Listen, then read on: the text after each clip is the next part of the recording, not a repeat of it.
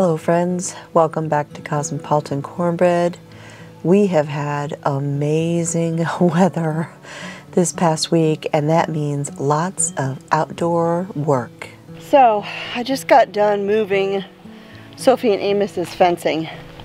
So, of course, they've still got this area where, where their shelter is, but I pushed the fence line back into all of those trees to give them all of that over there.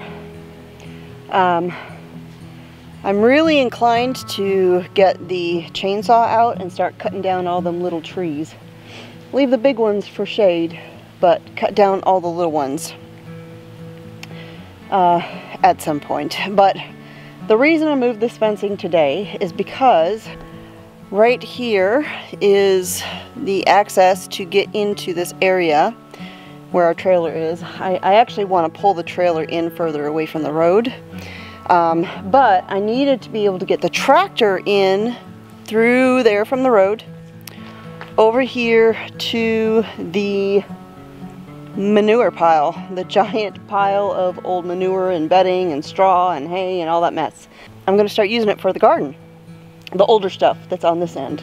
And then once I get the layer of manure, compost, all that mess uh, into the beds, then I will pull my truck over because at this moment my truck bed is full of garden soil.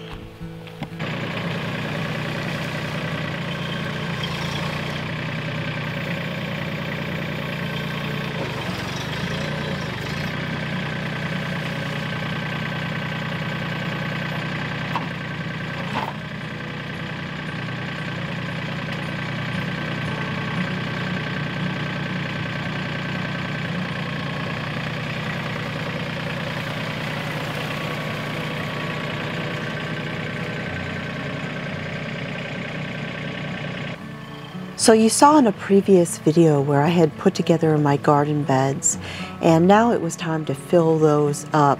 I started with a nice thick layer of old manure, hay, and straw. This will create the foundation for my raised garden beds.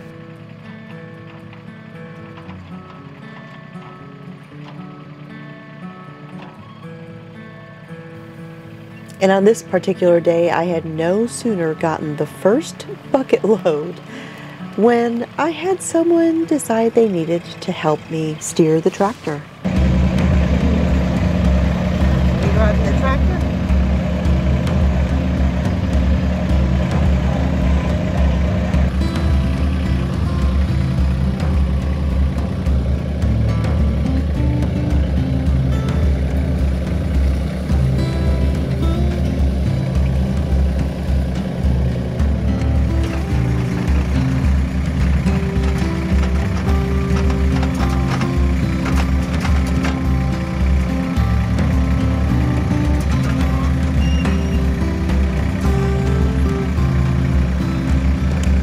By the time I took this video clip, she had already been on the tractor for the better part of an hour.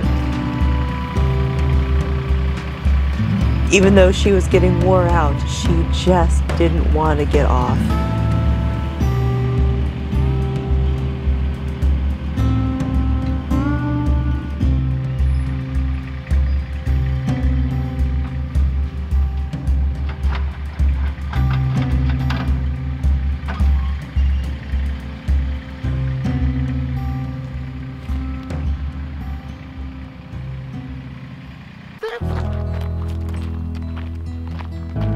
Bean could not wait to get down there and help with the garden once again.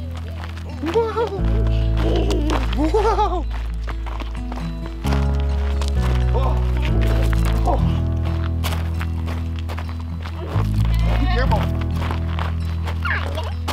Hi there.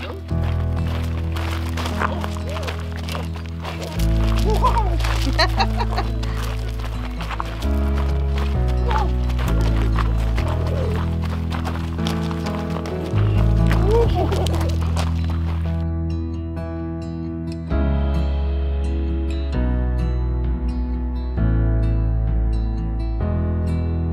So the day before we had used the tractor to put in all of that foundation layer of the old composted manure, hay, and straw.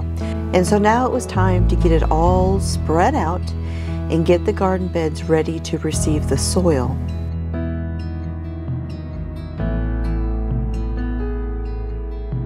I was able to track down bulk raised bed soil at a place in Fort Smith called Mulch and More.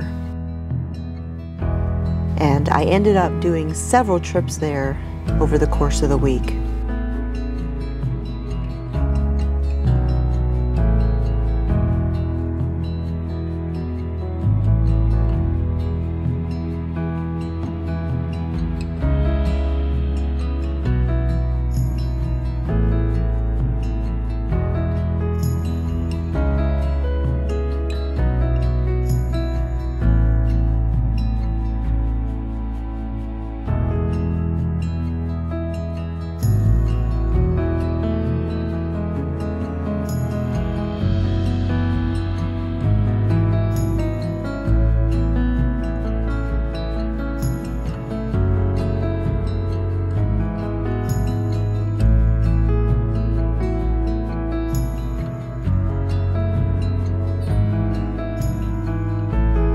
Next morning, I was out there bright and early working once again on filling up these garden beds.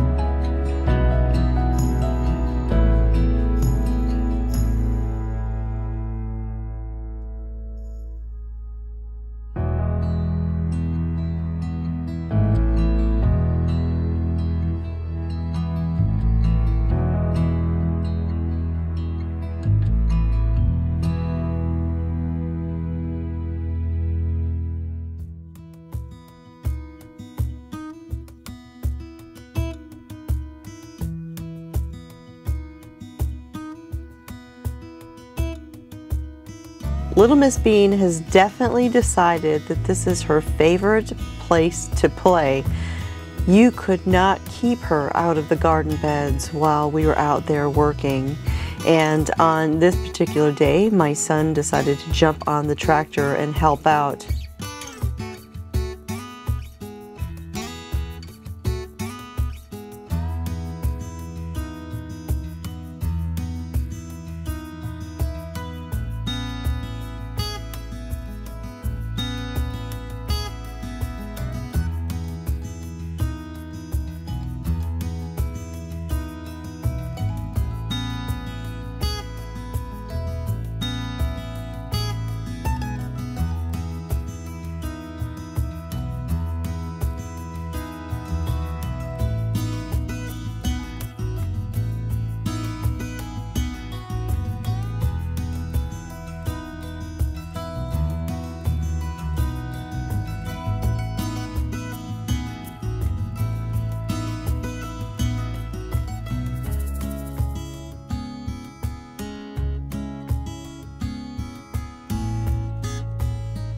And of course, you can't let that tractor go too far without jumping on for a ride.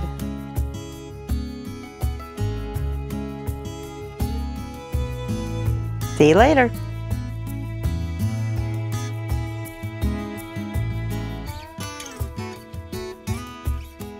She was absolutely determined to work that rake just like she watched Oma do.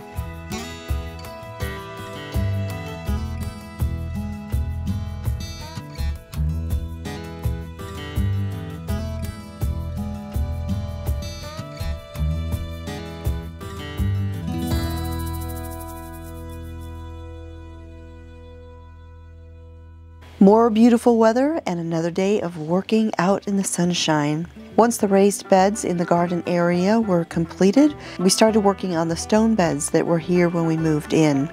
This particular bed that Willow is sitting in is going to be filled with flowers and herbs.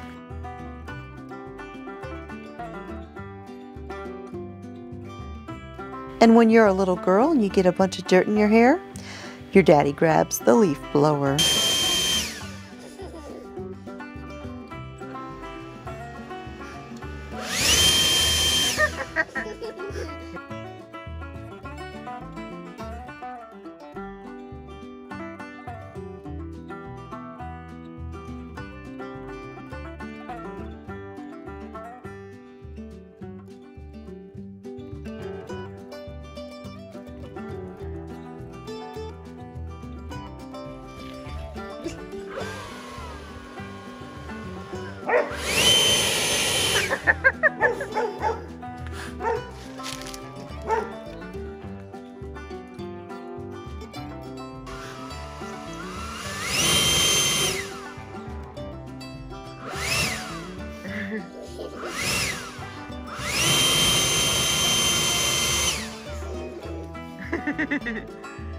Is that funny? She said, come on, do it again.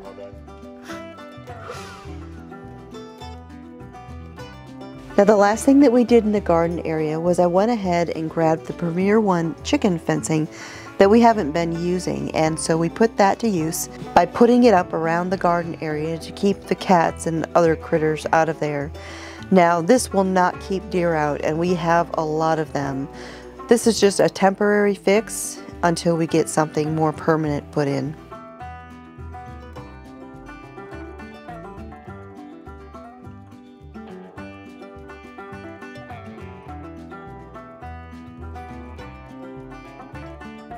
We've gotten a lot accomplished in the last week, and I'm looking forward to all the things that are going to happen in the coming week.